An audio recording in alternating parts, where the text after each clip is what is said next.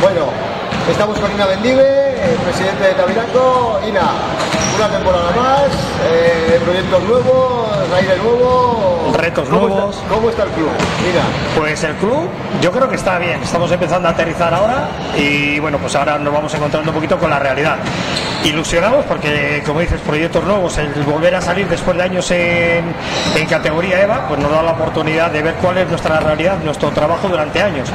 Eh, más que nada enfocado en que todos nuestros jugadores son de casa. Entonces quiere decir que vamos a ver por fin ese proyecto de niños formados desde hace ya muchísimos años, cómo se van dando en el paso del tiempo. ¿no? Jugadores que han estado pasando por diferentes selecciones, tanto de Vizcaya como de Euskadi, ya con una experiencia un poco ya curtidos, una media edad joven, pero que bueno, vamos a intentar ponerse las cosas difíciles al resto de, de la Liga EVA de nuestro grupo y bueno, pues a intentar disfrutar hasta donde lleguemos.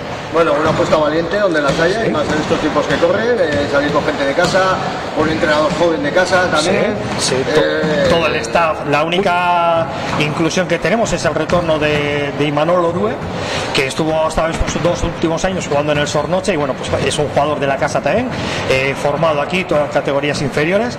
Y bueno, para nosotros un orgullo de que haya querido venir, independientemente de si hubiésemos conseguido el ascenso a EVA o no. Y eh, Miguel Zamora, un, un chaval de, de Madrid, que bueno, pues tiene que venir a hacer un máster a Bilbao, se tocó la puerta, había un hueco y fuera de la política de fichar, lo que sí que tenemos es la política de que si hay un espacio y Acoger. alguien tema acadé- académico y demás lo necesita, nosotros acogemos. Bueno, eso chicos, pero en Sí. chicas también, el año pasado un nivel excepcional, eh, rozando, rozando ahí la Sí, sí, también. sí. Sí, nos quedamos y yo creo que fue muy bonito, ¿no? Porque el objetivo que nos ponemos como siempre como club, que es eh, el traer gente, ¿no? Traer a niños y niñas eh, eh, durangueses y duranguesas, vizcaínos, vizcaínas, traerlos aquí eh, a que vean un baloncesto del bueno, del bonito y sientan por vena un poquito de cerca. El año pasado lo conseguimos en la, en la fase final, el pabellón se, se volvió a llenar. Ojalá hoy tengamos, sobre todo en el partido de la final, ese llenazo que tuvimos en esa Final Four. Y este año el objetivo es el mismo, llegar a, ver este todos los fines de semana, este polideportivo medianamente lleno, ¿eh? las chavalas que, disfruten, que den su máximo, y si con ellos somos capaces de, con el mismo equipo que el año pasado, más una jugadora que ha subido de junior, poder cosechar los mismos éxito- éxitos deportivos o un pasito más, pues bienvenido sea, pero el objetivo tiene que ser disfrutar con el Tabiraco, disfrutar con Durango, llevarlo por todo Euskadi, ¿eh? con orgullo y sabiendo a quién representamos, pero sin cortarse las venas, día a día intentando dar lo mejor.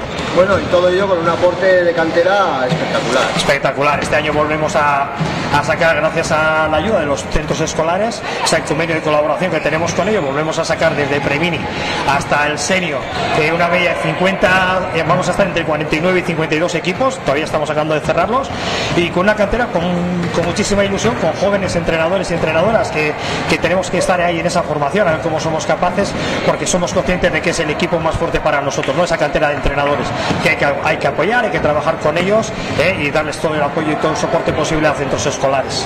Bueno, todo esto, claro, todo este, todo este monstruo, por decirlo de alguna manera, este bonito monstruo, Sí. requiere de un esfuerzo económico importante. En ese aspecto, ¿cómo andáis? A nivel institucional, Andamos a nivel bien. de patrocinadores Se se nos portan muy bien los patrocinadores. Bueno, este año se nos ha caído algún patrocinador clave, pero bueno, vamos a trabajar desde la directiva. Es una gozada de grupo directivo y vamos a intentar trabajar pues para cubrir esa, esa que vamos a tener ahora. Desde el consistorio pues se nos apoya. Obviamente el apoyo que tenemos institucional es una, es una gozada, no nos podemos quejar.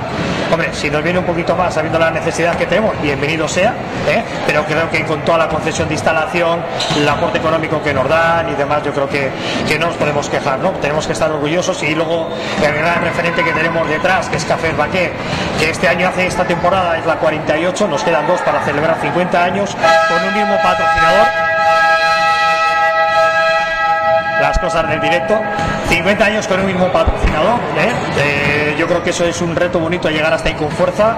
Eh, tenemos otro evento bonito ahora que es la Euskal Copa. Nos queda este año y otro más firmado. Y en el tercero, pues a ver qué, qué somos capaces de, de hacer ¿no? desde el club. Bueno, Durango es Euskal Copa. Es Euskal Copa. Es Euskal Copa. Este año ha habido ese impasse de la Euskal Copa masculina. A ver si el año que viene somos capaces de, de reconducirla otra vez para que vuelva Durango. Y Durango es Euskal Copa. Durango el básquet se vive, se vive muchísimo. Eh, lo que decimos otra vez es está muy bien situado, la gente del pueblo ayuda y respalda y da cobertura muy bien a este tipo de actividades. Yo creo que la gente se siente a gusto viniendo a jugar a Durango, los jugadores y jugadoras. Es un pabellón precioso, recoge muy bien, la gente arropa muy bien al jugador y a la jugadora. Eh, y creo que bueno, podemos considerar que el pueblo de Durango y el ayuntamiento y el Tabiraco en especial somos unos muy buenos anfitriones ¿eh? y nos sentimos orgullosos de, poder acoger el baloncesto vasco en casa.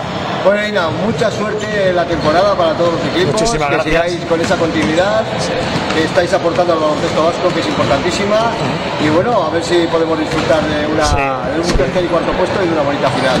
Ojalá, ojalá que así sea. Muchísimas gracias, Javi.